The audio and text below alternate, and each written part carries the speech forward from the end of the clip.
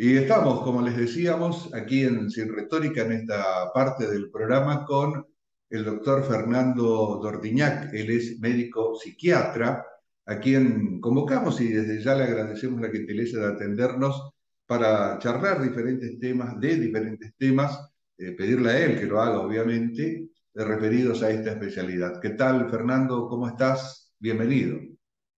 Buenas tardes, Pedro. ¿Cómo estás vos? Primero te agradezco a vos y a Marcela por esta invitación y me parece que esto es algo muy importante y que habría que hablarlo mucho más, todos estos temas. Eh, aunque, aunque sea de manual la pregunta, ¿no? Pero, eh, ¿cuál es la competencia de la psiquiatría? Bueno, la psiquiatría tiene una historia bastante larga de tratar de comprender las conductas, la medicina en general, hablamos de, Hipócrates, que trataban de comprender la conducta del humano, las emociones del humano, y, la medicina, hace más de 100 años nace esta rama de la psiquiatría, donde trata de ir este, comprendiendo y entendiendo en principio los trastornos más graves y mayores que se veían, como la esquizofrenia, la bipolaridad, ¿sí? Eh, por eso hace mucho tiempo, hace un siglo, se hablaba de enfermedad, como el modelo médico era tratar de encontrar un origen biológico dentro de la persona, se hablaba de enfermedad mental, eh, concepto que ha evolucionado hasta hoy en día, ¿sí? Ya no se puede este hablar de, de, enfermedad o de salud mental entonces, o por lo menos evolucionó el concepto. Claro, en mi apreciación, por eso, entendiendo la historia de la medicina de enfermedades, que nos tratábamos de buscar los orígenes biológicos como todas las enfermedades. Luego, de, bastante tiempo y no hace mucho, se dejó de usar mucho el término de enfermedad, prácticamente usarlo, y hablar de trastorno.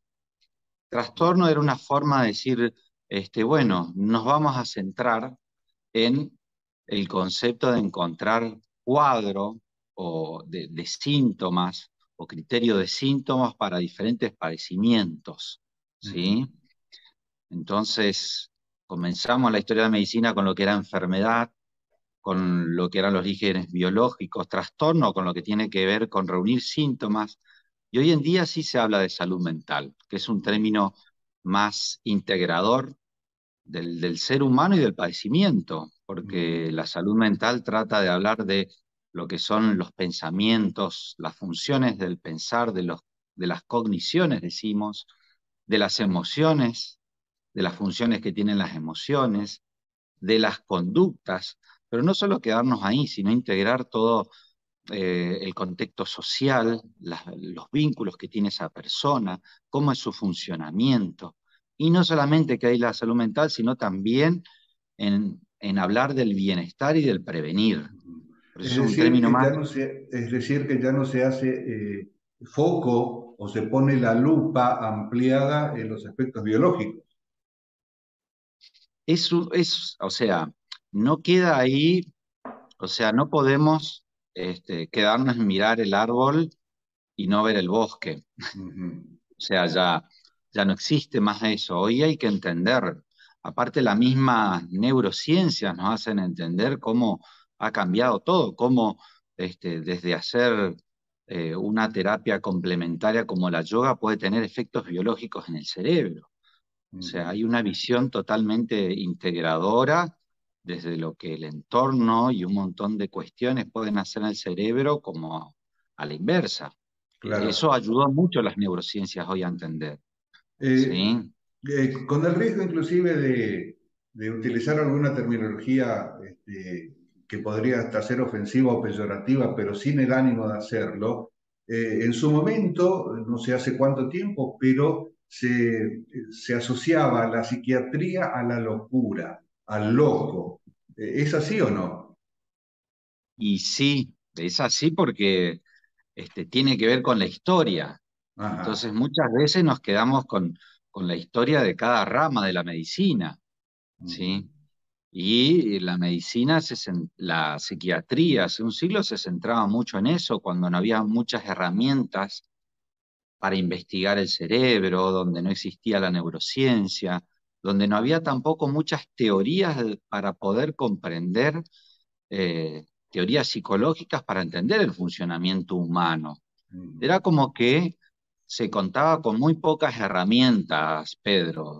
Te diría, este, entrar a un taller mecánico con solamente una pinza y un destornillador y no tener más herramientas. Claro. Entonces es poco lo que se podía hacer y, quedó un estigma en eso. Eh, Porque muchas personas piensan que... perdón, eh, inclusive, me corregirás, eh, Michel Foucault cuenta, dice que en su momento los locos andaban sueltos, solamente después la sociedad, la cultura, digamos, los, los estigmatizó y los encerró y los controló. Sí, o sea, en, el país de Foucault, donde estaba, y la evolución del, mundo occidental, más que nada fue así, que en algún momento se los encerró a los locos, este, pero bueno, hoy en día, o sea, eso queda para nosotros, los psiquiatras, lo vemos como un, un hecho histórico, donde buscamos que cada individuo sea el padecimiento más grave, no solamente tener una depresión, sino tener una esquizofrenia, esquizofrenia de pacientes que con un buen tratamiento siguen haciendo su vida normal. Entonces, hoy, este, gracias a todos los avances, a, a toda la tecnología, como en toda la medicina y en otras áreas, porque acá la psiquiatría tiene que incluir la, la psicología, es parte, ¿sí? no se la puede sacar y poner un costado y dividirla, o sea, no hay una cuestión dicotómica de cerebro y mente. Esa dicotomía ya cayó hace mucho. ¿sí? Entonces, entender en forma, por eso digo, global, integrada del ser. Hasta la misma genética hoy en día habla de, de trastornos epigenéticos. O sea, ¿qué está hablando? Que el entorno tiene una influencia tan grande que puede afectar nuestros genes y en la forma de enfermar. No solamente en la salud mental, puede ser en diferentes tumores, en diferentes tipos de, otras enfermedades de la clínica. Eh, pero eh, además también eh, alejado de, aspectos no científicos, porque también en los últimos tiempos han aparecido, ¿no? Este, lo que se denominan terapias alternativas o no, pero que no tienen un basamento científico. ¿Eso es así? Y mm, este es un concepto, está bueno lo que nombrás. ¿sí?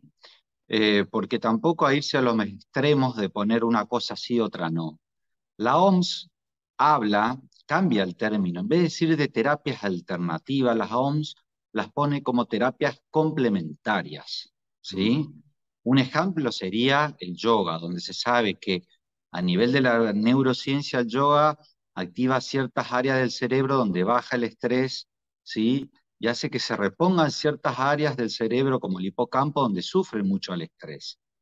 Entonces, no dice que el yoga va a reemplazar una buena teoría psicológica, que va a reemplazar una buena intervención desde la psiquiatría, sino que dice que son complementarias. Eso es lo bueno de tener una visión diferente. Decir, bueno, esto puede complementar, no es una cosa u otra menos entre la psicología y psiquiatría. Pensar que es una cosa u otra hoy sería como tratar de ser el llanero solitario, donde ambas son necesarias y complementarias. Eh, y, en la actualidad, Fernando, eh, ¿cuáles son, eh, si es que existe algún patrón, los motivos de consulta más habituales, más permanentes que, que se dan? Muy buena pregunta, Pedro.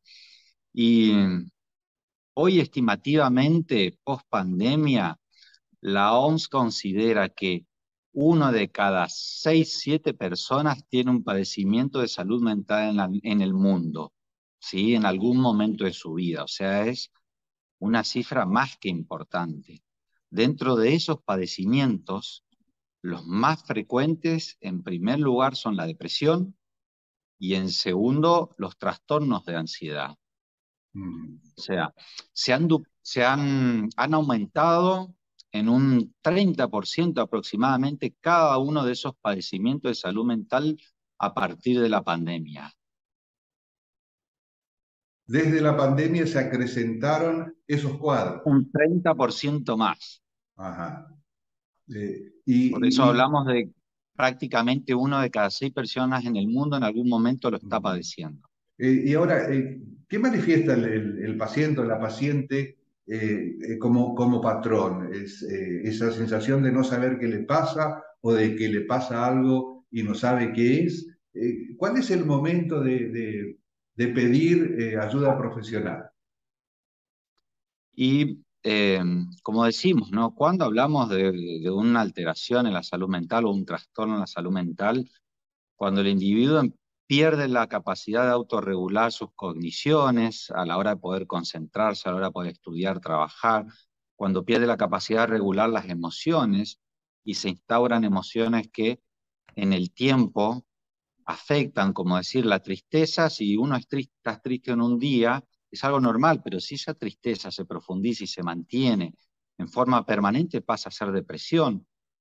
Si yo me preocupo en algún momento por algo y esa preocupación puedo este, después relajar con mi vida cotidiana, con otras actividades, pero si esa preocupación no me deja dormir, no me deja concentrarme, no me deja hacer mis tareas, significa que está afectada esa emoción. También los comportamientos, cuando no puedo regular los comportamientos, muchos pacientes suelen quejarse de, no poder controlar, este, de no poder tener paciencia, ¿sí? de tener irritabilidad, de, darse cuenta que eso no está bien, ¿sí? de no tener ganas de salir, de no tener ganas de compartir con los amigos. O sea, cuando empieza a afectarse todos los ejes que en general este, tienen que ver con la calidad de vida de una manera desmedida, estamos hablando de un padecimiento de salud mental. Y ahí sí es necesario buscar ayuda, porque hay un gran porcentaje de, como te decía, la población mundial que no llega a veces a la consulta.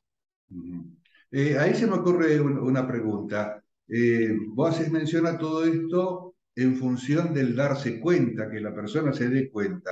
Tomar conciencia. Muchas veces lo hará. ¿Qué pasa si no lo hace o no puede hacerlo? ¿Cómo decís, Pedro? Eh, ¿Qué pasa si, si no toma conciencia o no puede hacerlo? Y, y, ahí empieza a jugar un papel el entorno, la familia y el contexto de personas que lo rodean. ¿sí? Entonces, muchas veces la familia la que a veces empieza a tener la, la preocupación y, llega la necesidad de, consultar o, pedirle a esa persona que, que busque una ayuda, ¿sí? El contexto también puede ser un buen contexto de trabajo, donde a uno lo conocen en el tiempo y ven que no está bien, ¿sí? ven que algo le está pasando. O sea, el contexto también puede ayudar a tomar conciencia.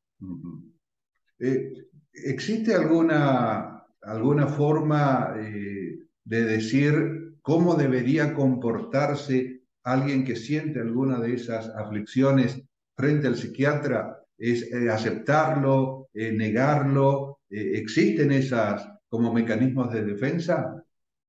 Sí, o sea, un mecanismo normal que, describió, que describió Freud es la negación, porque es al enfrentar algo que nos va a angustiar, nos pone más mal, entonces no es fácil a veces. Las personas suelen hacerlo cuando ya pierden la capacidad de mantener el equilibrio sobre esas cosas que le están angustiando.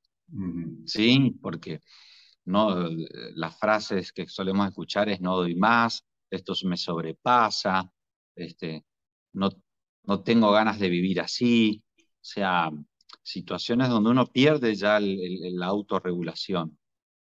Eh, eh, hablaste del entorno de una persona que, tiene eh, esos padecimientos, ¿no? ¿cómo, ¿cómo, debería manifestarse o comportarse el entorno respecto de la misma, de la persona?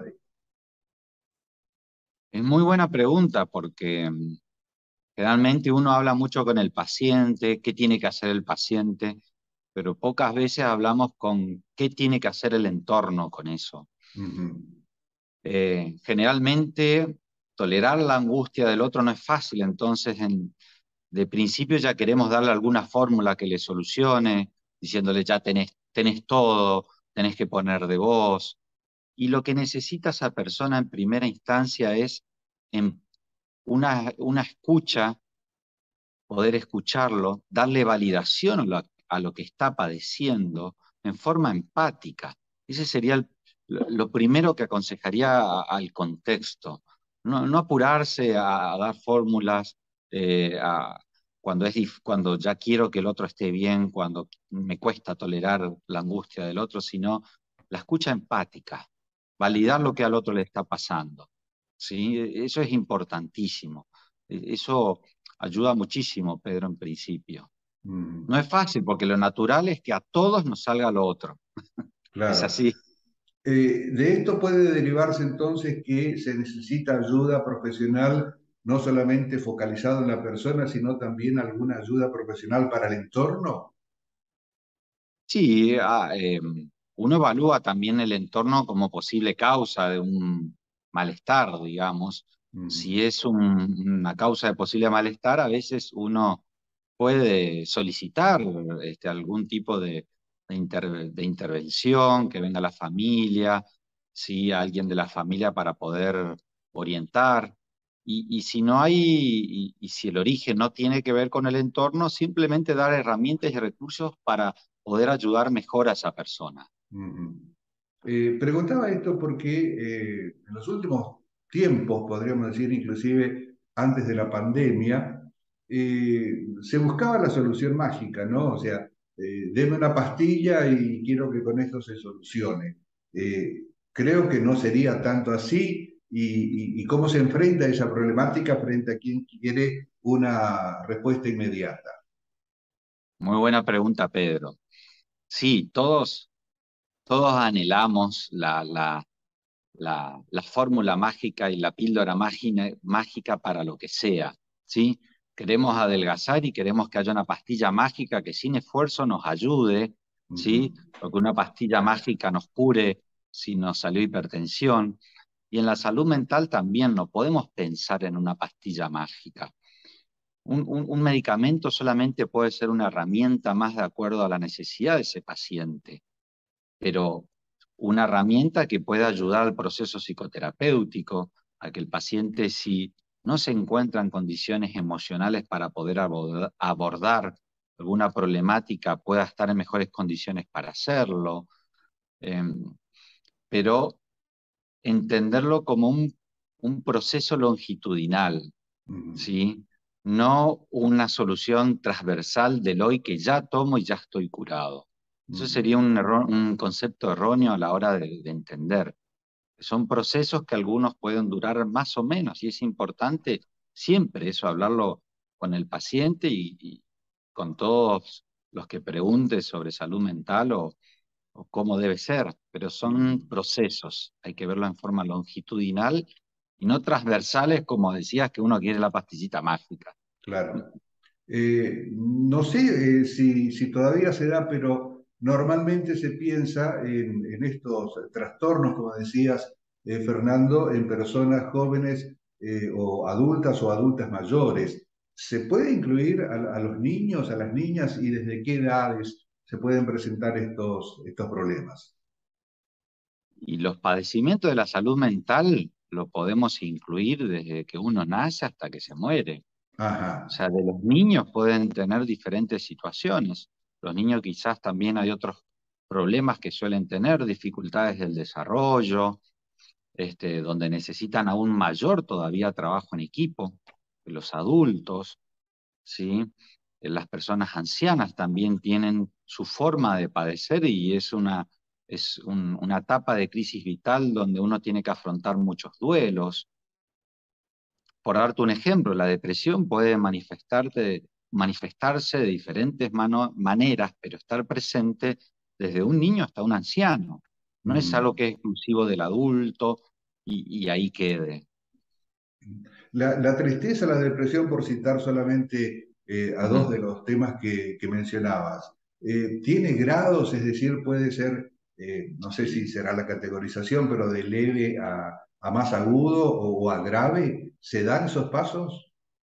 Sí, Sí, eso es importante. En, todo psicodiagnóstico, que, un buen clínico, sea, sea psicólogo, sea psiquiatra, debemos hacer con el paciente, tenemos que evaluar el, tipo de depresión que es, la profundidad, cuánto afecta a ese individuo. Entonces vamos a hablar de leve, moderado, grave, este, a, con, este, a, también ver qué cuestiones del contexto pueden este, tener relación. Este, hasta hay problemas de la salud física que pueden disparar, digamos. O sea, la psiquiatría eh, integra un poco más lo que son las cuestiones biológicas que pueden afectar la salud mental. O sea, desde poder evaluar si un anticonceptivo de golpe dio un efecto secundario, como un montón de medicaciones que pueden quizás generar depresión. No es frecuente, pero se puede dar, desde este, tener un problema de tiroides. Entonces, es importante evaluar todos los orígenes y todas las causas. Una depresión puede ser de una causa puramente biológica a también como una causa puramente ambiental o situacional por haber tenido la pérdida de un ser querido, la pérdida de, alguna situación que daba sostenimiento como ser un trabajo, de una relación de pareja. Eh, y de acuerdo a eso, uno tiene que pensar en las intervenciones, ¿sí? las intervenciones posibles y que siempre son complementarias. Importante entender eso. Eh, ¿sí? Que, el, rol del psicólogo y del, psiquiatra no son opuestos, son complementarios para toda la salud mental, son necesarios. Ahora, eh, Fernando, cuando, cuando una persona decide eh, acudir y pedir asistencia profesional, ¿qué debe esperar si es que no tuvo antecedentes, digamos, si es la primera vez que va? ¿Cuáles son las expectativas que debería tener para no tenerlas en forma exacerbada? Y mm, eso ya depende de cada individuo. Hay individuos que, bueno, que tienen una expectativa, depende del terapeuta que van porque tuvieron referencias y ya alguien le comentó que estuvo en esa situación y salió. Entonces, generalmente suelen ir a la consulta así, ya con una expectativa de, de que me va a ayudar, de que va a encontrar una solución. Hay otros cuando el problema es más grave, que, que es difícil pensar así porque su mente no está bien, sus pensamientos no están bien y, y, y, solo ven como solución, como muchos pacientes que solemos ver, el, el querer quitarse la vida, porque las emociones están en un, en un polo totalmente negativo con todos los pensamientos. Es decir, que la, la, postura de, de, cada persona eh, podría decirse es fundamental para eh, un mejoramiento? o sea, pueden venir con diferentes posturas.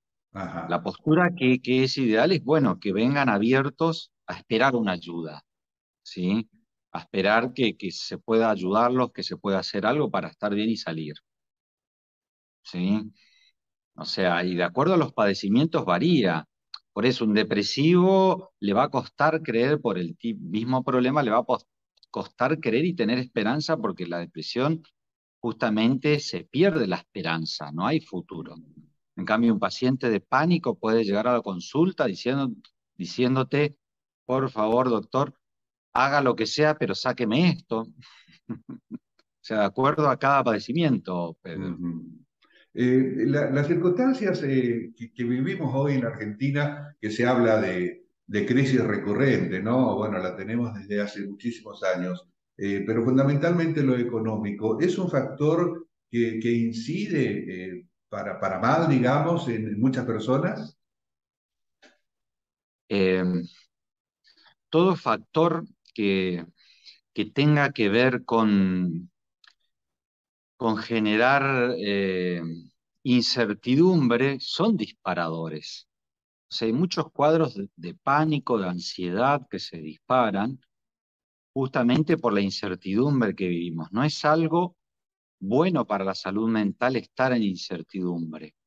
O sea, el mismo cerebro nuestro trabaja tanto con circuitos que tienen que ver con defenderse ante una amenaza, con circuitos que tienen que ver con este, impulsar y motivarse hacia la acción en forma positiva y también circuitos que tienen que ver con el reposo y la calma.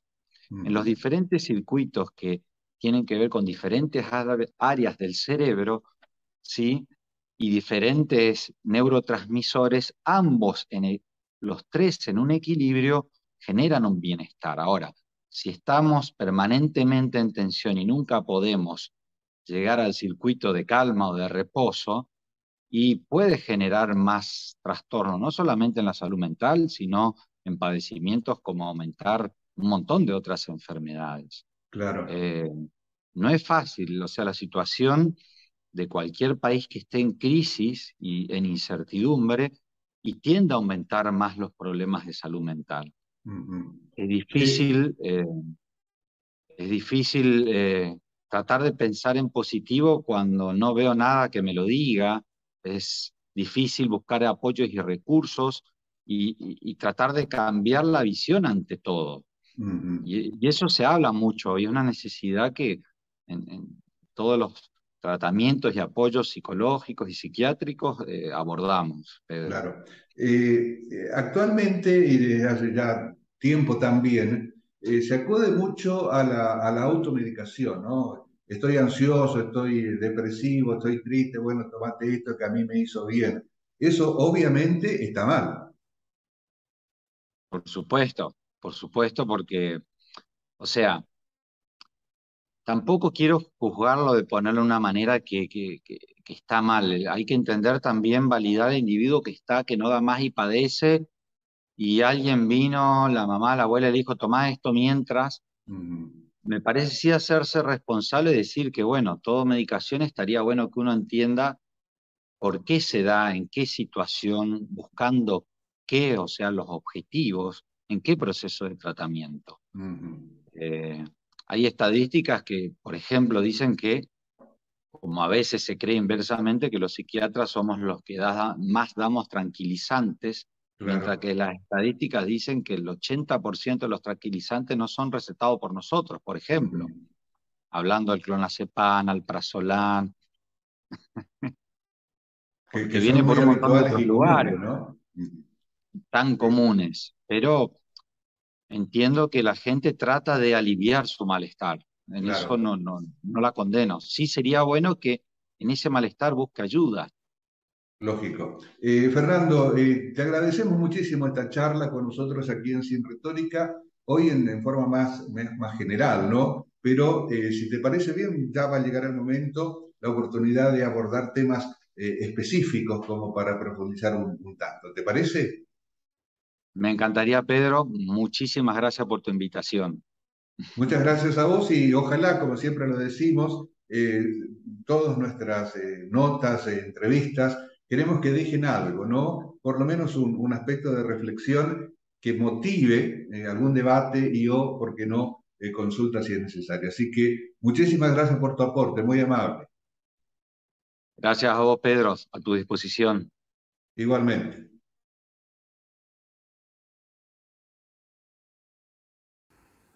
Creemos que esta, esta charla que mantuvimos con Fernando Dortiñac em, o por lo menos eso esperamos, ¿no? haya sido provechosa, haya sido de utilidad y despierte algún elemento como para ser utilizado por, por quienes lo necesitan. De nuestra parte, nada más, nos vamos hasta la semana que viene, siempre en Somos Chaco, los miércoles a las 22 para Resistencia, el área metropolitana. En Villa Ángela también está nuestra emisión a través del servicio de Flow y eh, nuestras redes sociales, en el portal de noticias, en el canal de YouTube, en las redes sociales, Facebook, Instagram y Twitter, siempre con la denominación de Sin Retórica. Muchas gracias.